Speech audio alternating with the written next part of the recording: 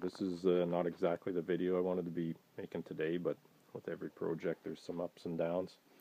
I had the uh, have the clutch installed. I have the gearbox on. You can see I've got the charging system components all wired in here. The uh, diode board, voltage regulator, starter relay, and I ran the engine last night uh, yesterday afternoon actually, and good news is the charge light works. Once the engine was running, the charge light went out, and I have a voltmeter hooked up, and we had high, mid to high 13s, and she climbed up to above 14 volts. So charging system components are good.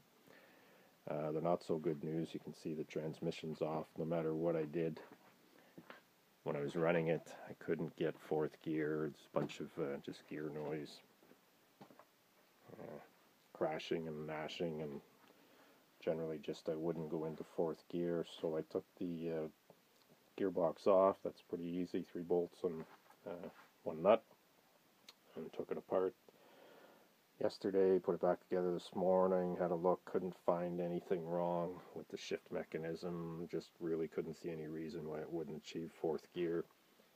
So put it back together, put it back on. This morning I ran it again, same thing. So I had to go deeper to find the issue. And here we've got the components that were in the, the gearbox. Um, the input shaft and the uh, output shaft and here's the issue here this sliding collar. Uh, see it easily slides into third gear. Um, but no matter what I do it won't slide onto fourth gear.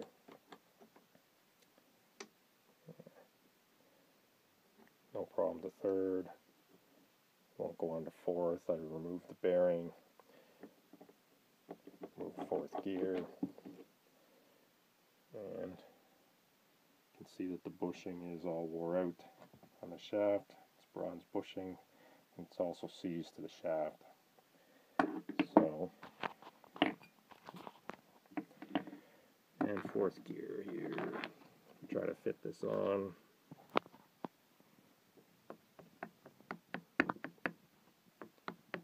See the play in that bushing? That's no good the sliding collar. No matter what you do, it's not going to slide on the fourth gear. So to repair or to use this uh, shaft, have to cut off the bushing, get a new bushing, get a new fourth gear. Okay, but in the boxes of stuff, we've got another output shaft, and uh, it seems to be in good shape. Bearing off, notice here there is no clunking, no movement in the fourth gear up and down like the other one. And see the sliding collar, engaged fourth, engaged third, absolutely no problem. That's how it should be.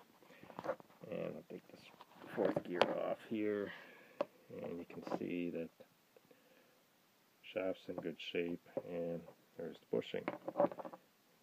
Moves on the gear moves on the shaft.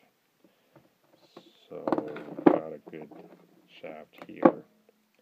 Good output shaft to use. See that the bearings or sorry the bushing's got good shape. Still got the oil and grooves in it and everything. And I've checked everything else on this shaft so it's good to go. Just got to press bearing on on the output end.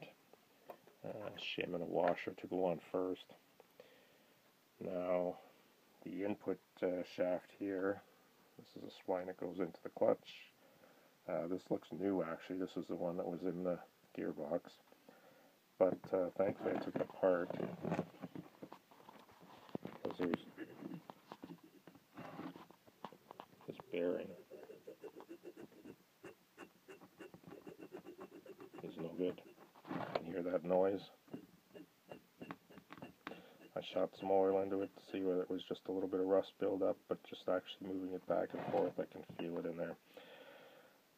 We have a second input shaft with good bearing.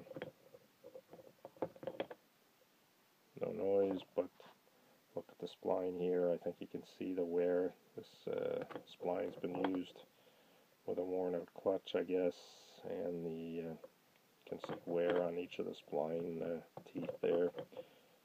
So this would be usable, but it's a lot easier, a lot better rather. We'll change this bearing out, so to do that I'll have to bring the shaft to work uh, and use a uh,